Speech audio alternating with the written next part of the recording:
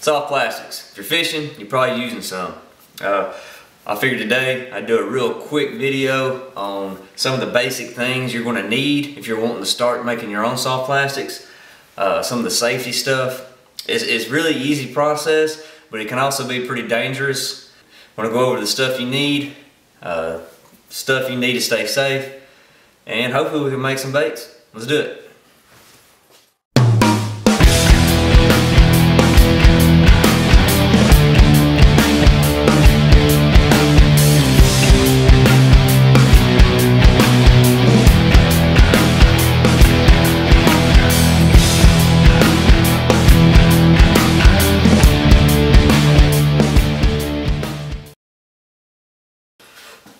Alright, for uh, safety stuff, you're going to need a pair of gloves. Don't skip this step. Uh, I learned the hard way last summer. Uh, I got burned real bad and uh, this plastic heats up to over 350 degrees and if you can imagine getting hot molten plastic on your hand or anywhere on your body, it uh it's not like touching something hot where you can just let go. It sticks to your skin. So please wear gloves if nothing else. Also, this plastic, as you would think, I mean, plastic's pretty bad for the environment, period. Uh, it's, it's a good idea to wear a respirator. This stuff's going to put out some fumes. You're going to want to do this outside uh, in like a shed or a garage. I'm doing mine in my garage. Uh, you want it to be well ventilated. Um, you know, it'd be a good idea to hook a fan up or something, kind of blow these fumes outside. Also, safety glasses would also be a good option. Uh, you don't want to get no hot molten plastic in your eyeball. I'm assuming that would hurt pretty bad, and I'm not, I'm hoping that I never experience that. Okay, now as far as the, the tools you're going to need to get the job done, you're going to need some liquid plastic. Get you a Pyrex glass. Make sure it's microwave safe glass. You're to need a stick. This looks like uh, something you would ice cakes with. This is what I use to stir the plastic up with. You're obviously going to need some kind of colorant. Um, this is MF color. I get it from Lure Parts Online, same place I get the, the liquid plastic from. Uh, they're, they're fairly inexpensive and a little bit goes a long way so whatever color you're using today we're going to be using black which I know isn't the best color to be trying to showcase but I need some black plastic so uh, glitter. This is some cheap glitter I got from Walmart.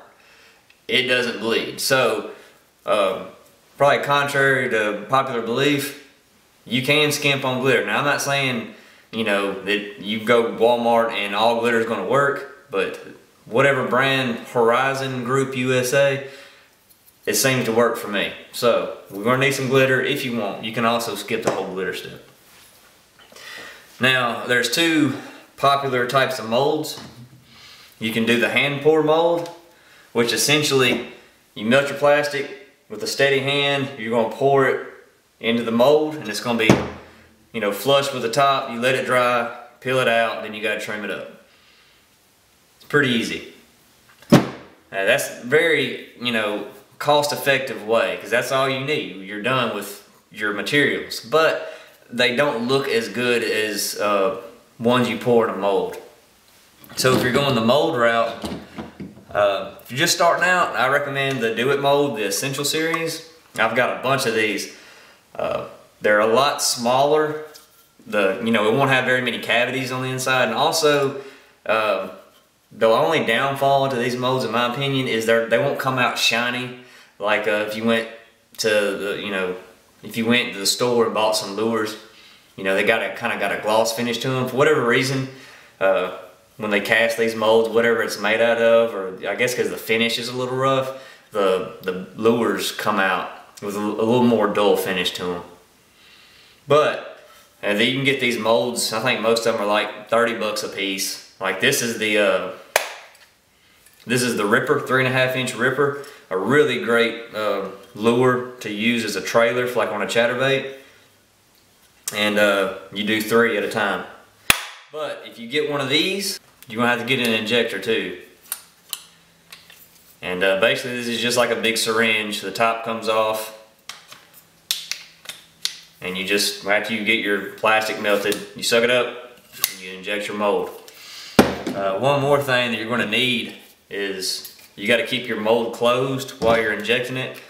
And uh, I just went to Lowe's and got some of these A-clamps. And for these uh, molds right here, I just do two clamps to hold it together and it works fine.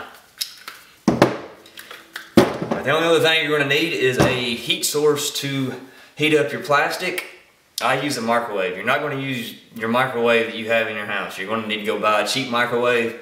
Uh, go to Walmart and get you one for like 30 bucks and it'll work fine. All right, that's essentially it. Let's get to making some lures. First thing you're gonna do is shake your soft plastic liquid once you think it's done mixing up, shake it a little bit more. You can't overmix this stuff. Now you're going to want to pour your desired amount of liquid into your Pyrex cup. Uh, one cup is a pretty good starting point. Uh, two cups is about the max I like to do. You just kind of have to play with it and see how far you can go with how much liquid. Now it's time to heat up your soft plastic liquid. When you first pour it out, it's going to look kind of like milk, and as it heats up, it's going to get clearer and clearer. What I do is I start out one minute intervals, heat it for a minute, take it out, stir it, put it back in for another minute. Once I see it starting to get clear, I'll go ahead and back it down to 30 second intervals.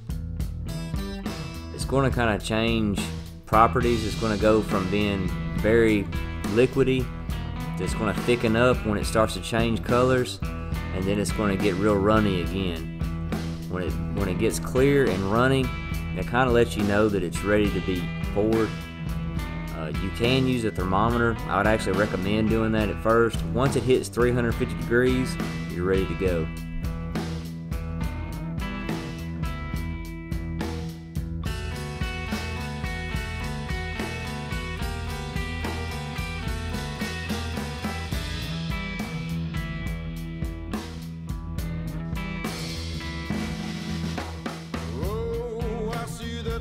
Plastic gets heated up to the right temperature, you're going to go ahead and add your color to it. There's a bunch of different formulas you can find to make certain colors. Uh, like I said, I'm just doing black. Obviously, the more color you add, the more opaque it's going to be. If you want to be more translucent, add less color. But since I'm going with black, it's kind of hard to mess up. But just add your color and give it a good stir. Using glitter, now's the time to add it in. I just kind of eyeball it. No sense in trying to make this into some kind of exact science. Keep it fun. Don't overthink it. Give it another good mix after you add your glitter to it. Then I go ahead and put it back in the microwave for 30 more seconds. While it's in the microwave, I go ahead and get all my molds set up, ready for the pour. Go ahead and take your soft plastic liquid out of the microwave. Give it one final stir. I've noticed that a lot of times you let it sit for a little bit, the glitter will fall down to the bottom. So stir it up, get the glitter towards the top and in the middle. And then grab your injector, fill it all the way up, and put it on top of your mold. Slowly inject it. Once you feel some resistance, stop and go to your next one. Do the same thing.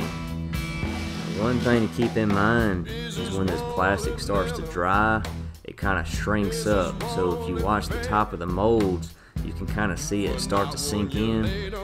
You want to kind of work fast with this, especially with your injector because your liquid plastic starts solidifying in it where you can't inject anymore.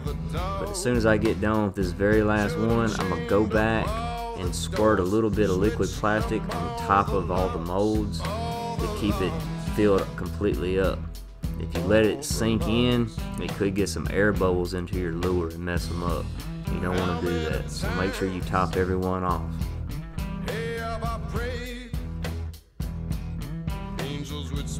Now you can go ahead and put whatever remaining plastic you have in your injector back into your Pyrex cup if it hasn't turned solid yet. And then I'll go ahead and put the Pyrex cup in the microwave to kind of keep it halfway warm if I'm going to pour some more baits. Now you're going to wait on your soft plastics to harden up. It doesn't really take a whole lot of time. Uh, it kind of depends on what lures you're using. The fatter they are, obviously, the longer it's going to take them to set up. Uh, but really, like with these right here, these are pretty fat themselves. Uh, maybe two minutes tops. You can go ahead and open your molds up Before I open my molds up, I go ahead and clean my injector off, take the plastic off that's on the outside. You can take the tip off and then get the plastic that's inside out of it and then put it back together. About that time your lure should be done, ready to open up. You're going to want to save all this plastic and then the sprues that you cut off your lures themselves because you can reheat it, and melt it back down and use it again.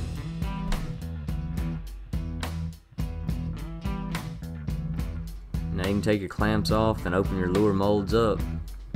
Peel them out and get you some scissors and uh, cut the sprue off. You set the, the sprue or your the waste to the side because it's not waste. Like I said, you can reuse it later. Now you have some soft plastics. Um, I let mine sit to the side for maybe 15 20 minutes before I put them in a bag, make sure they're fully cured. And I add a little bit of soft plastic oil to mine to keep them well lubricated, make sure they don't dry out. And that's it, ready to go fishing.